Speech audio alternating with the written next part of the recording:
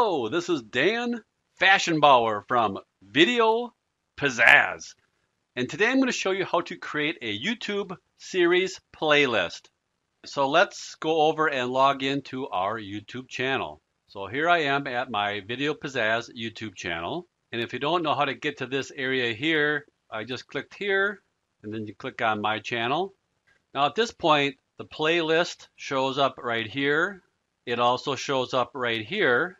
And if you went into your video manager, it would also show up here. So there's several different ways of getting to the playlist area. So I'm just going to click on playlist and I'm going to click on new playlist and I'll call it how to forward domains using a record and CNAME.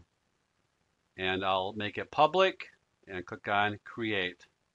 Now I'll click on playlist settings and under the basic tab here, I'm going to leave it as public. Ordering, I'll leave it as manual. And additional options, set as an official series for this playlist. Select that and click on save. Now I can add a description here. So click on add description. And I'm just going to paste in a description from a notepad that I have. And then just clean it up a little bit here. Once you click outside the edit box, it gets saved. So now I'm ready to add my videos to this playlist. So I'll click on add videos and you can do a video search if you wanted to put in other people's videos in the search playlist. I don't want to do that today. Or you could enter in a URL or you could look at your own YouTube videos here. So just come down the list here and pick the ones that you want. So I just scroll down and I found two videos that I want to add to that playlist. So I'll click on this one Click add video.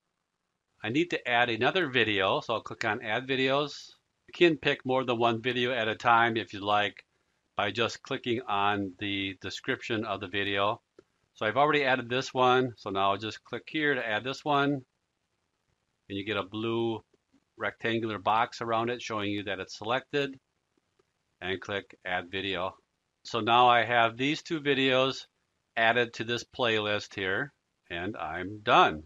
So if I just come up here and click on playlists, I'll see this new playlist here, how to forward domains using a record and CNAME. I can click on that, click the play all. You'll see the two videos here show up in my playlist. I can go back to my main channel. And again, you can get to your playlist by clicking here, clicking here, or going into Video Manager. All right, so I hope you found that useful, and we'll see you in the next video. Bye for now.